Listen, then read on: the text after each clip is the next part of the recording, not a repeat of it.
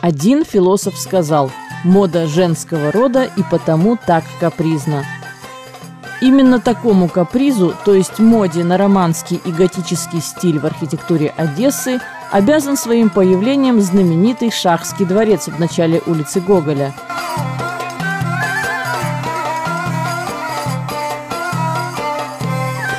Но принадлежал он отнюдь не чудом уцелевшим средневековым рыцарям.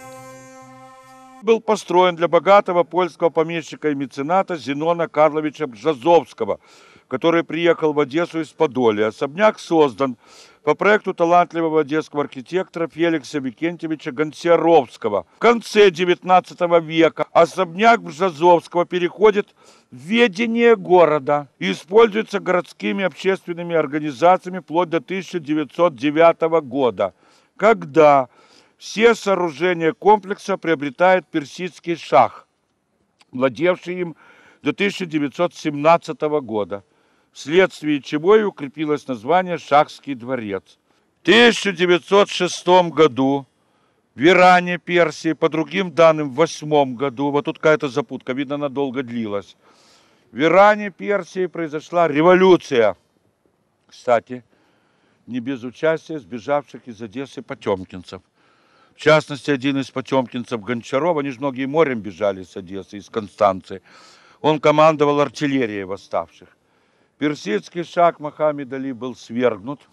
Разгромивший Меджлис шах лишен трона и переезжает в Одессу в качестве изгнанника родной страны. Гарем шаха, я почему-то считал, был вот тех задних помин. Нет. Сейчас удалось выяснить точно – Мохаммед Али имел гарем на улице Гефта Черноморской. А узнал я об этом, причем на той сползшей в море обрыве. Узнал я об этом случайно из-за скандала, который он устроил в городской думе еще то есть до революции. Дело в том, что капитаны и прогулочные катера, не говоря уже о больших судах, стали специально из-за гарема держаться ближе к берегу.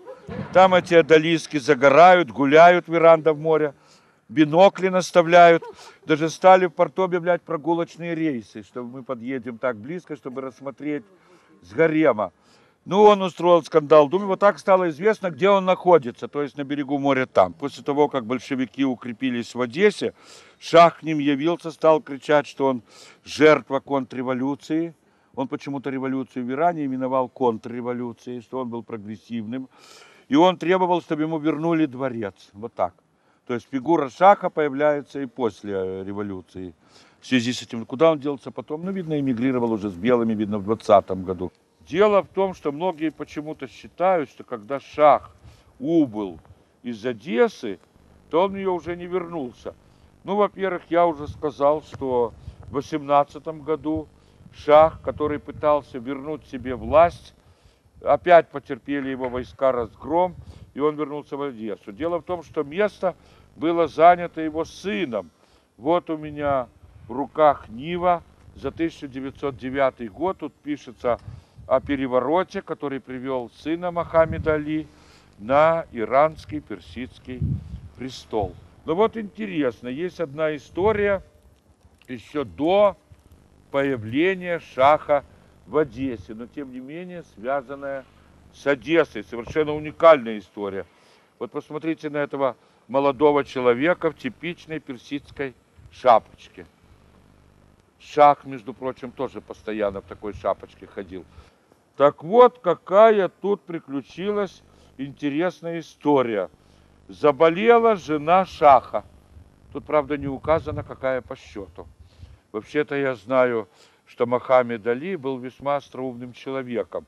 И он одному своему другу в Англию написал письмо, где сказал, завидую вам, христианам, лучше 50 лет прожить с одной женой, чем один год с 50 женами.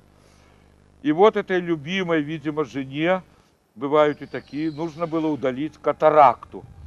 Врач-мужчина такую операцию сделать ей не мог. Ну, все мы знаем по мусульманским законам, кто был даже в нашей Средней Азии, люди, женщины в основном, кто соблюдают ислам, ходят, закрыв лицо, может быть, кроме глаз, да. Обычай запрещал женщине, тем более жене хана, показывать лицо постороннему мужчине. Было, правда, единственное исключение, мужу могла показывать лицо.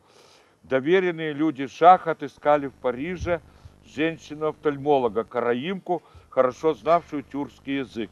Приехав в Тегеран, она успешно провела операцию. Шах был в восторге. Чем вознаградить спасительницу любимой жены? А, все-таки любимая, говорю. Видите, бывают любимые жены, а то многие не верят. Это должна быть очень высокая награда.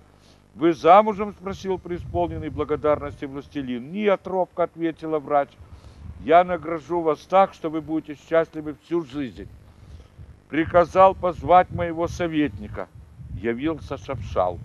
«Учитель, вы женитесь на этой женщине, тоном не терпящим возражений возвестил он. Она заслужила такого мужа, а вы достойны ее». От дворца к улице Приморской сбегает неширокая лестница. Ее также построил Феликс Гонсиаровский.